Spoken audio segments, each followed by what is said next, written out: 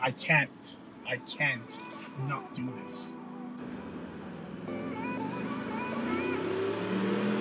Wow, can you hear the roar? I've just realized that. I've kept the windows up.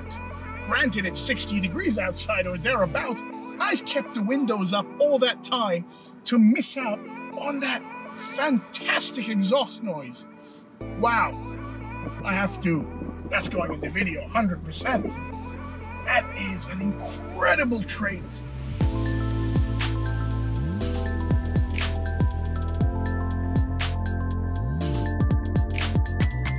That you see behind me is the wonderful new Bentley Bentayga. It's the brand new Bentayga. It's not a, it's not a um, facelift. It's a brand new car. Well, on the motorway, this vehicle is as comfortable as it can get. So you feel no uh, sign that it's a uh, an SUV. There is practically no body roll, even if you go right or left. Of course, always indicating. Um, the ride is extremely smooth. One could almost say it's kind of like a floating sensation. In here, I think exquisite, immaculate, creme de la creme, and palatial. These are some of the words I would use to describe the interior of this Bentley Bentayga.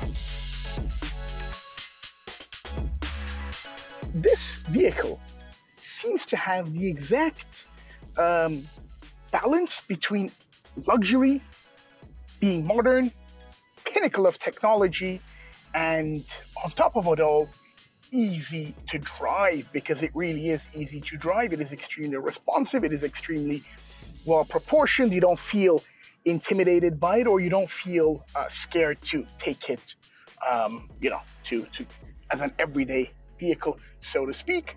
Um, I'm just going to stop here and tell you a little bit about the interior of this lovely vehicle. Here you have a 10.9 inch infotainment system, very easy to use, straightforward. And on top of the um, Apple Connect, it now has Android as well, which is a bonus. Very few uh, cars have both, but then again, this is the pinnacle of luxury. It is a combination of luxury limo, grand touring, um, SUV, all of them comes together in a performance ultra luxurious SUV, and it certainly does that very, very well indeed.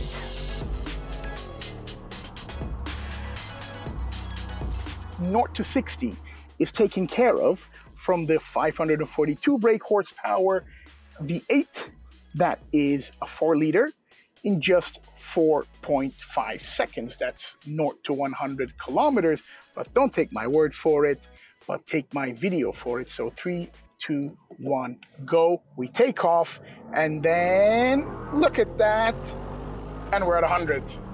That is incredibly quick, incredibly quick.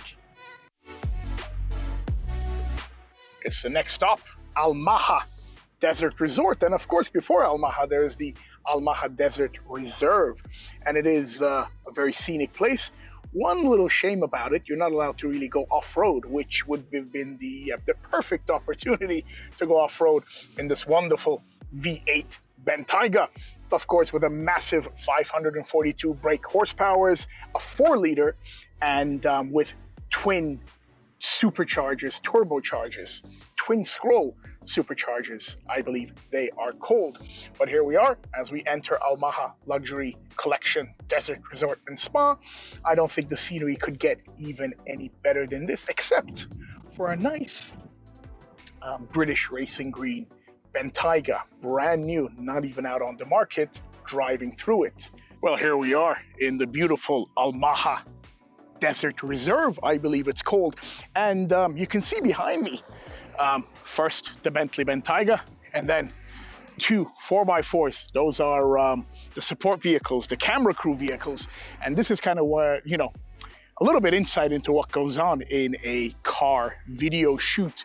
There's about a team of uh, four, five chaps there fixing all sorts of GoPros and then, you know, making sure the light is right, making sure the angles are right, making sure that the, um, the end product comes out as the viewers would like to see. So there's a lot of work that goes behind this.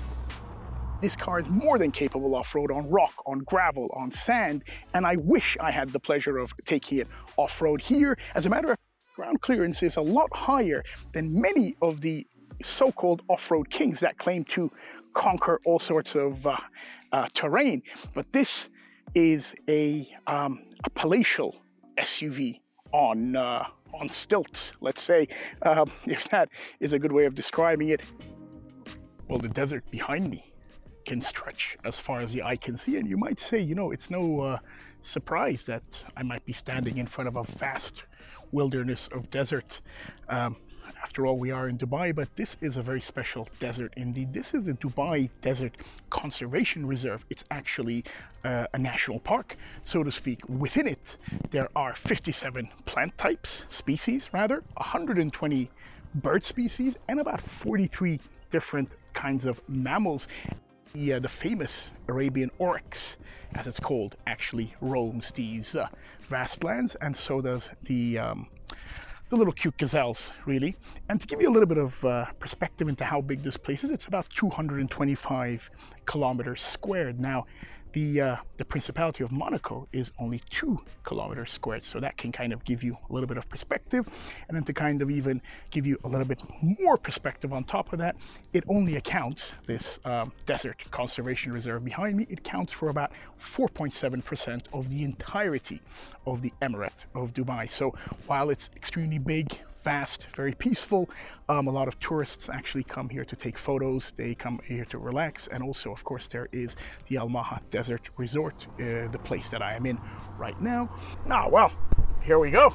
I think uh, my glasses are conveniently here. I think I'll keep them off. Um, I always like to see what the back of the car looks like. I mean, most of us, of course, we want to be in the front. We want to be driving. We want to be experiencing the uh, the thrill of this um, very well rounded, I must say, so far. Uh, Bentayga, but I wanted to see how it is in the back. And in the back, there are a couple of very interesting improvements. For example, that you press a button and it comes out and it's a, a little iPad type device. Now, with this, you can literally control everything to make it just until your heart is fully content. And one of those things is actually the ventilated seats that you have in the back. Now, those were never a thing. But having lived in the GCC, having lived in the UAE, I think ventilated seats are a brilliant idea. Hats off to um, Bentley for that. Apart from that, we'll place that back in. The uh, legroom here is quite good. I think it's more than the previous generation. Um, these are all new. Headroom is lovely. You have, of course, what we call a moonroof. So very bright and airy, very comfortable. You can get this uh, particular model in uh, several different variations, configurations. This is, of course, the five-seater. You can actually get a four-seater where there is a big console here with all sorts of um, luxuries. But, I mean, this will do just fine in terms of comfort, in terms of headroom, in terms of um, how it feels back here.